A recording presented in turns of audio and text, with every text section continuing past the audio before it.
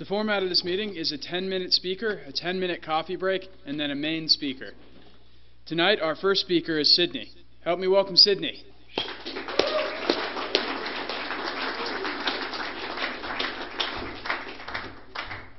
Hi guys, I'm Sydney. I'm an alcoholic. Um, my sobriety date is 2-10-2014. Um, this is definitely out of my comfort zone, so I'll probably say um a lot and kind of bounce around. Uh, I have a tendency to do that when I get nervous. But somebody asked me, so here I am. Uh, let's see where it started. I started.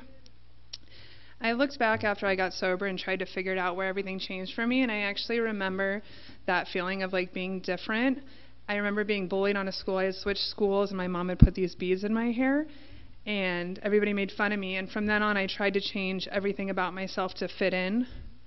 Around 13, that turned into uh, me drinking, smoking pot, doing whatever guys wanted, stuff like that, and which progressed into me being involved in a raid when I was uh, about three months after my 18th birthday. There was a lot of stuff in between then. That was definitely one of the lowest point, points, and like it didn't really faze me. Um, I actually got out of jail that time.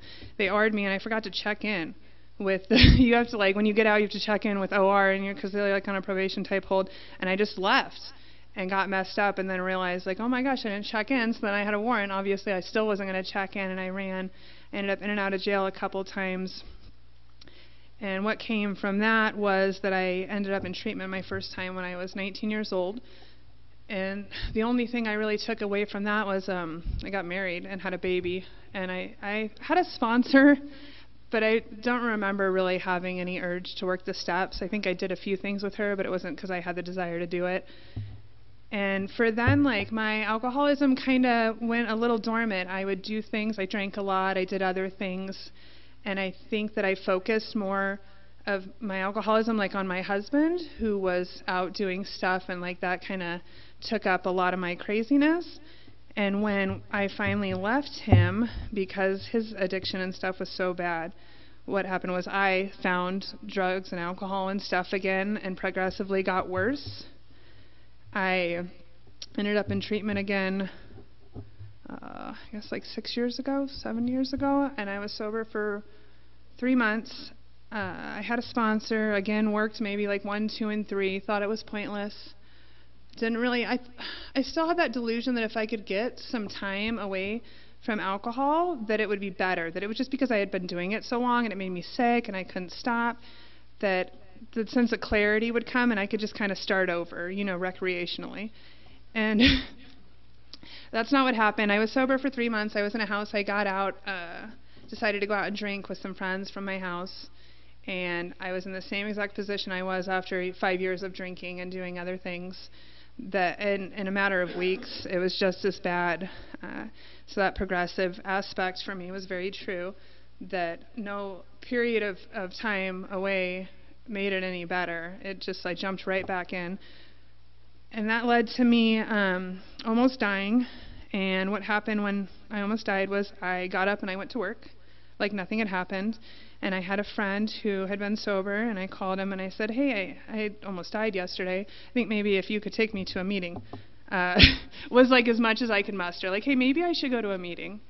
And he had called somebody that I knew, that he knew that I knew was sober, and she called my ex-husband and blew up my whole spot again. Everybody knew that Sydney was all messed up, and I had my kid, and it was like, if you don't get sober, but and I was really angry at the time, like how dare people interrupt what I'm trying to do? Like everything's going fine.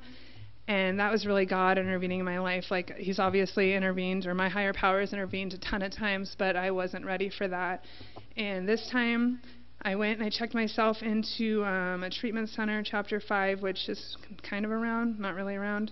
Um, and I got a sponsor my first week. I went to a meeting and I heard somebody speak that I had seen previously that had a year sober, and I had seen her right when she came in, and I got a sponsor, and I started working the steps. Like I really did what I was supposed to do. Uh, I tried to be honest and be active in the house. I worked the whole time I was in treatment. Like I tried to be responsible and do what I could for my mom and my ex-husband who were taking care of my daughter because he was sober at the time. We've kind of flip-flopped over the years, uh, like taking turns on being out. Uh, And I don't know, it changed everything for me. The, I don't know that I really made any big changes that first six months that I was in chapter five. I think all the changes for me came after I got out and like I chose AA for myself. Um, I got a home group. I stuck with the sponsor. I changed sponsors at about a year and a half. My sponsor just stopped uh, responding to me, which for a few months I was like, oh, this is great. You know, I have a sponsor, but I don't actually have to do anything.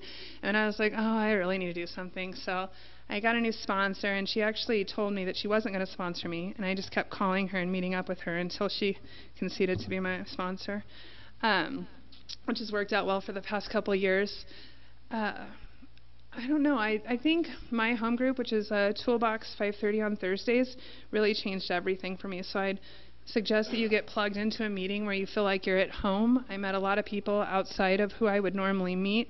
I remember coming to this program originally and thinking like these people either have kids or once I had a kid they don't have kids. They're too young or they're too old. And when I was finally ready to be sober, like I was able to open up and be loving and kind to everybody in this program and like pull something from everybody's story.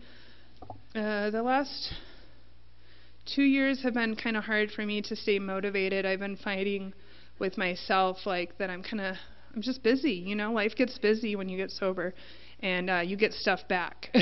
so I've been trying to like get some more meetings and stuff like that, and I haven't sponsored in a while. And that's because I don't go to enough meetings, and I like my comfortable meetings. So when I was asked to come here tonight, I haven't been to this meeting in probably three years, so it's definitely out of my comfort zone. I don't really know anybody here. But I always try and do whatever. If I if, I'm able to do it in AA, I uh, try and do it. And what my life's like now is um, I have my daughter full time.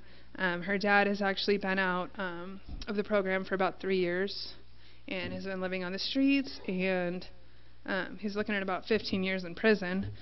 It's, so it's interesting to be on the other side of that because I always thought I wasn't harming anybody. It didn't really affect anybody. Like I don't know about you, but I'm so selfish when I'm drunk. You know, just leave me alone. I don't know why this is anybody's problem but mine. And um, so I've been raising my daughter, but I've gone through a lot in the past five years. Um, I've been through a breakup. I've been through getting a new job. I've been through raising my daughter by myself who also has some issues due to the fact that me and her dad are both um, both alcoholics. Uh, she's been through a lot of trauma over the years. Uh, but I haven't wanted to pick up, and I remember reading in the big book when I first, where it talks about like our problem with alcohol will cease to exist. Like I really feel like that's true for me. I get really uncomfortable, and I think that's still my alcoholism. Like I was sick to my stomach for like two hours before we came here. I don't know if that's happens to most people, but um, I have tools to do that. And like I know that everything's going to be okay. It'll work out one way or another. And I have a tendency to think, you know, if it's out of my control, why worry about it?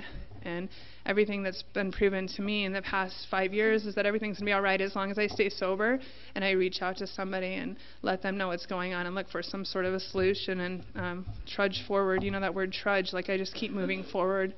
And that's all I have.